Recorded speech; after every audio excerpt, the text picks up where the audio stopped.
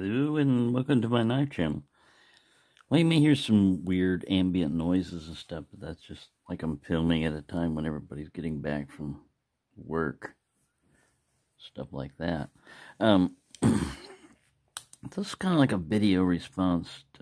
Peter was talking about these Rough Ryder reserves and what, you know, they're big like this one's supposed to be a whittler and stuff. My thought on that is that I don't do a whole lot of whittling, but you know, you don't have to just whittle on little stuff. You can carve out totem pole eyes and stuff, and you need a big thing for that. Probably an axe. But just because a knife is called a whittler doesn't mean it's stuck to this. This is a perfect spear point blade.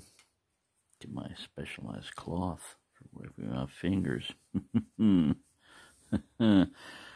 but uh, yeah, it's still, you know, a nice drop point, spear point type. You can see some scratches on there. I have been using it.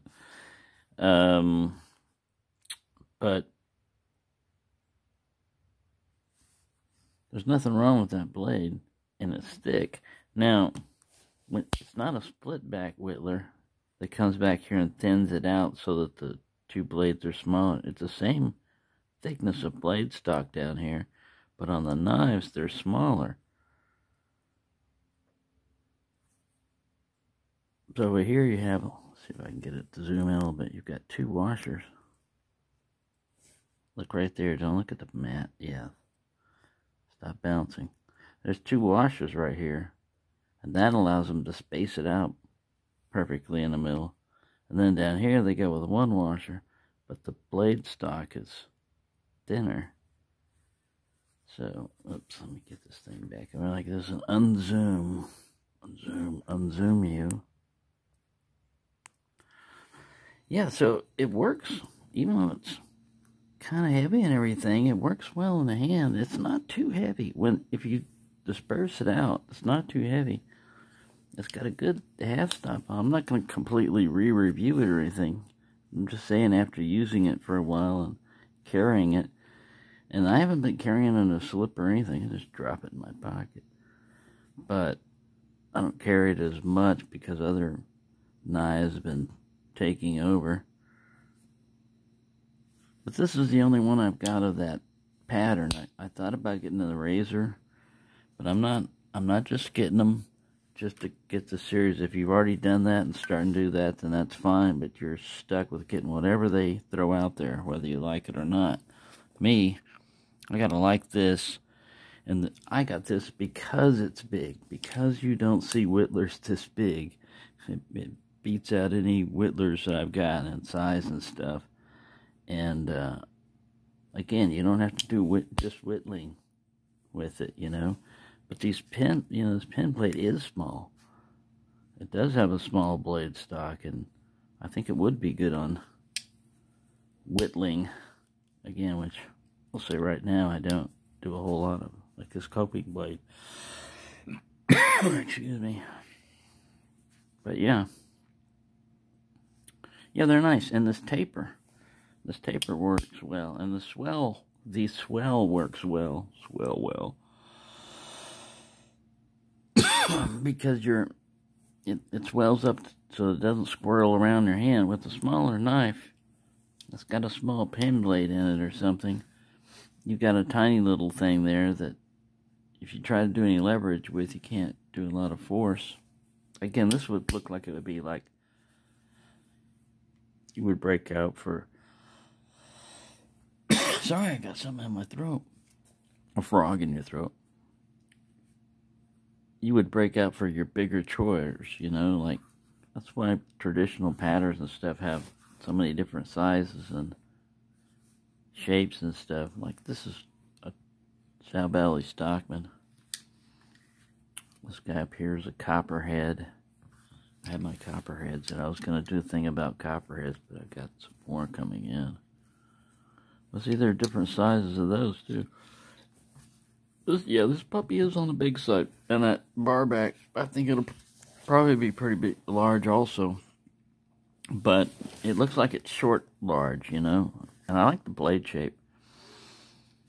I'm not, you know, if that um, hook on the back almost looks like an Emerson. I wonder if you could do that. I'm gonna wind up tear my leg out or something trying it. What are you trying to do? trying to make a one hand opener out of this thing. Trying to hook it on my pants. It works. Just rips your leg off. Yeah, don't try that at home, kids. Shouldn't be any kids walking watching this anyway. It's not made for children. You'll get bad ideas from me, worse than Beavis and Butthead. They'll say, Beavis and what? Beavis and what head? No, Butthead. Alright, so yeah, that's all I wanted to say on that while I'm waiting for my... I placed a shipment over the weekend. I don't know. It hasn't... It hasn't shipped yet, as far as I can tell. Today's Monday, so... Itching for my order. Itching, itching. But yeah, I got that bar back coming in. I really like this, though. I like this one. I don't carry around in a slip. Like I said, I just drop it, drop it in my pocket, let it go. But yeah, I love this. It's got a good solid half stop on it. It's D2. Does a pretty good job. I haven't used these little blades too much. Yeah, you wouldn't necessarily need a sheath to carry it. It stands up fairly well. It is tapered kind of sleeve boardish. This guy's smaller end, so you drop it like that. Heavier end down. Alright, I'm rambling. I just wanted to put a video out, and I didn't have any new knives in or anything, so I thought I'd give like a re-evaluation of this guy. And they're not completely... It's all you want, whatever reason you want to collect for. Like if you want to do patterns and you'll get into like, well, I really don't like this particular type of material, but it is one of the series. I, I do like that one, by the way. but yeah, I like copperheads too, by the way. It's, it's hard for me not to find an eye pattern and say, I don't, I don't like it, you know. I mean, there's some that I don't think are as practical, but I still like them. You know, like you don't go around shaving your face as much with a straight razor anymore. But man, I like those things. Then talk about cutting, man. If you want to cut paper or cardboard, woo! The cardboard starts slowing down a razor a little bit more. It'll start getting dull. But if you've got a strop, which anybody's got a razor would know what a strop is, then boom, it's back to sharp. Alright, I don't know how we got into straight razors out of that, but thank you for watching, and have a nice day.